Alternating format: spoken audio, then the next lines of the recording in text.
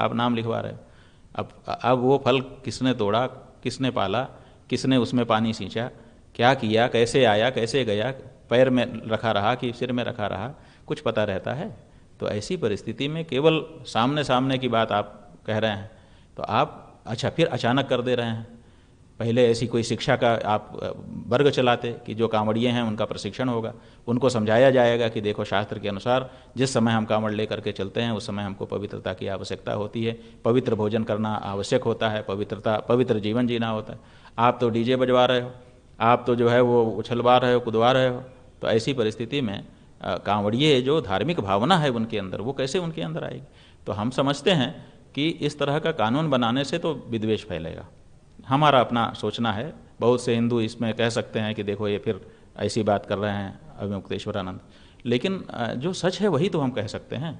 आखिर हम कैसे कह दें कि ये सही है? क्यों? क्योंकि मुसलमान की दुकान है, हिंदू नौकर हैं। बनाने वाले सब हिंदू हैं और मालिक जो है गल्ला पे बैठ करके मालिकाना कर रहा है। अब नाम लिख दिया गया कि ये और उस दुकान में, अब अब उस दुकान में इसका आर्थिक असर पड़ेगा।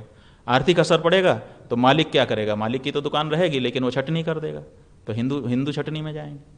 फिर दूसरी बात यह है कि अब जब हिंदू मुसलमान की भावना आप तेज करोगे तो अभी मुसलमान मालिक ने हिंदू कारीगर रखे हैं हिंदू मा, मालिक ने मुसलमान भी कारीगर रखे हैं। अब उनको दोनों के अंदर भेद आ गया। अभी तक तो ये सब बात ध्यान में नहीं थी। यद्यपि जानते थे कि ये मुसलमान है ये हिंदू है लेकिन इस भावना को अभी बल नहीं था। अब बल आ जाएगा इससे। अब जब बल आ जाएगा तो वो हर समय हिंदू मुसलमान की दृष्टि से एक दूसरे को देखना शुरू करेंगे। तो उनके दोनों अंदर कड़वाहट, टकराहट पैदा होने लग जाएगी। तो ये सब पवित्रता कितनी मेंटेन होगी इसका पता नहीं। अच्छा आज परिस्थिति ये है कि लोगों की समझ ऐसी हो गई कि कोई कहीं भी खा रहे हैं। उनका विचार ही नहीं है कि किसने इसको छुआ है, किसने इसको बनाया है, किस किस भावना से बनाया है, ये सब सोच ही नहीं रहे हैं लोग। उनको भूख लगती है, बस जो सामने दिख गया, जाके खरीद के खा लेते हैं। पहले हम लोग विचार करते थे। हम लोग तो आज भी इस बात का विचार करते हैं कि कहाँ खाना है, कब खाना है, कैसे खाना है, आदि आदि। लेकिन अब आम जो हिंदू है, वो ये सब विचार करता नहीं है और ऐसी परिस्थिति में उसको समझाइश तो ठीक से दी नहीं गई। लोगों को भी इस बारे में ठीक से अवेयरनेस लाई नहीं गई कि भाई असल में इसके पीछे ये भाव है और इसमें किसी को भेदभाव डालने की, हमारी किसी को निशा दिखाने की ऐसी कोई भावना ऐसा वातावरण एक बनाया जाना चाहिए और उसके बाद इस तरह से कुछ किया जाता तो शायद ज़्यादा कारगर रहता। लेकिन अचानक जो जिस तरह से लागू कर दिया गया है इसको तो अभी तक तो लोग समझ ही नहीं पा रहे हैं कि क्या है। हमने तीन चार लोगों का देखा, जैसे वो माहौल क्या है, वाला गया था, जनता के बीच में जाता है, वो जनता की राय देता है। अब वो कह रहे हैं, हमें कोई फ़र्क नहीं है। खाने वाला भी कह रहा है, हमें कोई फ़र्क नहीं है, हम तो मुसलमान के दुकान में गए थे, उन्होंने टेंट लगाया था और गद्दा बिछाया था, हम तो वहाँ आराम किए। और उससे क्या फ़र्क पड़ता है? अब देखिए, वो कामर वाला है, लेकिन ऐसा कह रहा है। दुकान वाले कह रहे हैं कि भाई ठीक है, थोड़ा बहुत फ़र्क पड़ेगा, लेकिन सरकार का आदेश है। कोई कह रहे हैं कोई फ़र्क नहीं पड़ेगा, जो जो जिसको खाना है वो खाएगा ही जिसको नहीं खाना है नहीं खाएगा।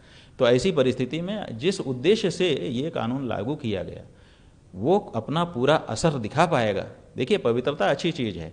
और इस बारे में अगर कोई विचार करता है तो हम उसका समर्थन करते हैं।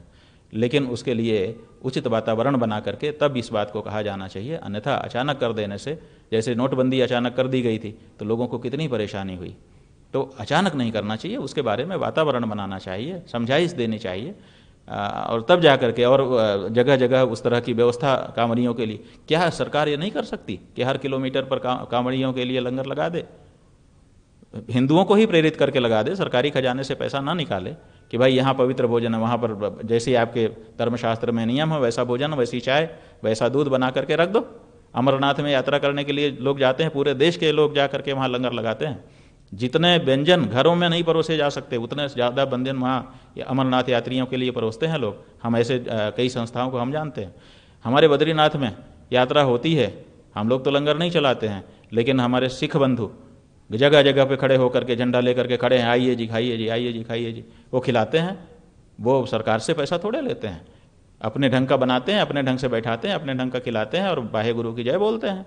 तो उसी तरह से क्या कामनियों के लिए समाज के लोग आगे नहीं आ जाते? अगर सरकार आग्रह करती कि आप लोग पवित्र भोजन करिए और पवित्र भोजन कराने के लिए इन संस्थाओं को अनुमति दी जाती है और अवसर दिया जाता है। तो कांवरिया, कांवर के रास्ते में जगह जगह ऐसी व्यवस्था हो जाती। सामान्य रूप से लोग करते ही हैं। तो फिर कानून की भी ज़रूरत नहीं पड़ती और पवित्रता भी मेंटेन हो जाती। ये इस तरीके हाँ तो ठीक है ना? देखिए जो इस नियम को अचानक लागू किए हैं कहीं ना कहीं राजनीति उनके मन में है। और जो इसको इस तरह से व्याख्या कर रहे हैं कि ये तो राजनीति का मामला है राजनीति का नहीं भी है तो राजनीति सिद्ध कर देंगे वो भी तो राजनीति ही कर रहे हैं। बांटने की बात तो सब कर रहे हैं क्योंकि बांट के ही खाए रोटी तोड़ के ही टुकड़े टुकड़े खाई जाती है। इसलिए चाहे कि इस पार्टी का नेता हो चाहे उस पार्टी का नेता हो तोड़ तोड़ के रोटी खाएगा, इसलिए बांटने का काम तो दोनों कर रहे हैं। यूपी की हर खबर देखने और उनसे अपडेट रहने के लिए हमारे चैनल श्रेष्ठ यूपी को सब्सक्राइब और लाइक करें। साथ ही बेल आइकन को दबाना ना भूलें, जिससे हमारे हर वीडियो की जानकारी आप तक पहुँचती रहे।